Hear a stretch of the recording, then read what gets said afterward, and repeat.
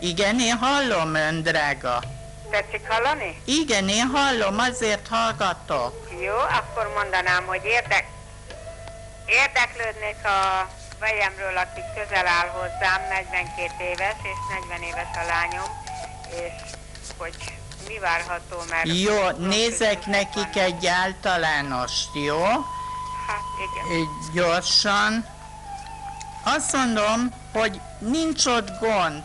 A vejénél fog elindulni valamilyen olyan pozitív folyamat, akár munkaterén, akár én azt mondom, hogy az év első fejét, ha nem is nagyon ö, sok pénzzel, de egy kisebb fajta bevétellel pozitívan fogják tudni zárni. Mind a ketten.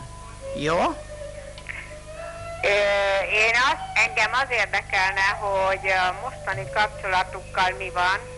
Ö, Jól mert, vannak. ö, Hogy most vannak konfliktusok a A konfliktusokat meg fogják oldani. Ö, Nincsenek itt nagy problémák, vannak surlódások, de Igen, de akár van egy harmadik. Ö,